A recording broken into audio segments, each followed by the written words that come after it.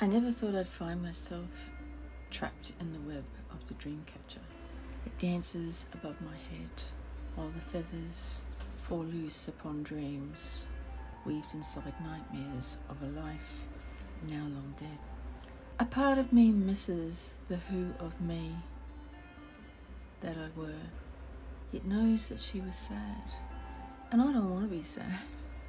While I watch the storm clouds roll in over imaginary hills of my mind, I close my eyes so I don't see the webs above my head and realize it's nothing more but the sound of rotating vanes of the windmill I once saw in a dream. Or perhaps it was that train trip I took across dusty cornfields.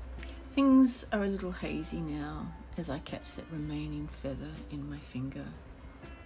The dream only dies when the lights go out and the memories linger.